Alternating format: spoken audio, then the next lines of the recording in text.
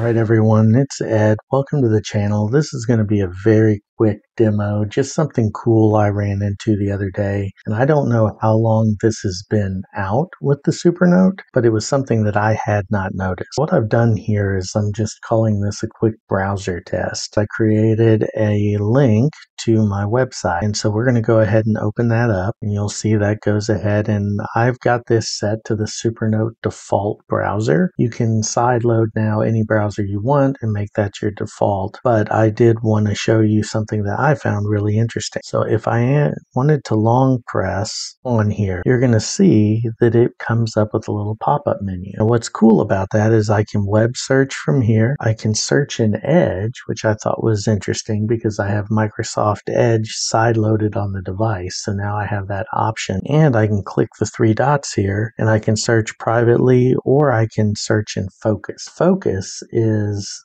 the Firefox Focus browser. And just so you know, those are the ones that I have installed in here, and I also have Opera installed. But let's go ahead real quick and get out of that. And what I want to do, let's pick it up where we were, and we're going to say web search. What's really neat about this is it pops up now and it says complete the action with the browser. So I can stay in the Supernote browser and I can say always or just once, or you can see down here, I have Edge and Opera as options as well. So a lot of flexibility and something, quite frankly, I just didn't know existed. One other thing on this, so let's use Edge just so that we can show this. And then it'll say allow notifications. I always say no. That doesn't always pop up. It does sometimes. But so here now we've gone to Microsoft Edge. You'll see up here in the corner, I'm already signed in. I did that a little bit earlier. But even though you can't download the Copilot app from the Aurora store, it's not compatible you can use Copilot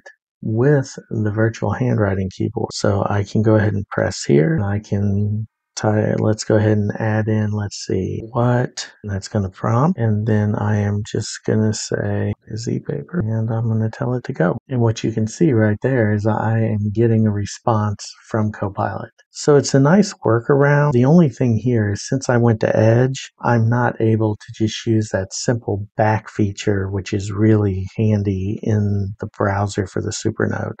So I can use my quick access and I can go to last open note. Now I'm back where I started. Just to show that one more time, if I go into that same thing, go to another word here and we'll say web search and then we'll go to complete with browser. It's going to open that in the Supernote browser. And one last thing to note is up here in the top, you have that X and the X will take you back to your note. Once you do, there you go, all done. So real quick hit. Thank you for signing in. Thank you for your support and I will talk to you soon.